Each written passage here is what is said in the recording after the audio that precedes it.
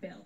Meanwhile, members of FIEL and others showed support for the city joining the suit. Representatives for both groups went on the record today to explain their takes. Senate Bill 4 supporters say it's all about the rule of law and keeping dangerous elements out of Texas. Opponents claim it just gives law enforcement an excuse to target its own Latino population. I believe that SB4 is No, don't answer it. actually just a law that went into place that will tells our elected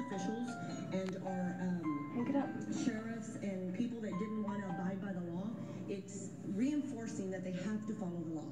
This law has came into effect You years TV. behind. It has been years that our police officers have been asking about the legal status of our residents when they're simply pulling them over for passing a stop sign or a red light, and that is unconstitutional. Senate Bill 4 would enlist a wide range of state and local officials to enforce immigration laws and fine those who won't comply. Houston recently joined Austin, San Antonio, and Dallas in the lawsuit to block it.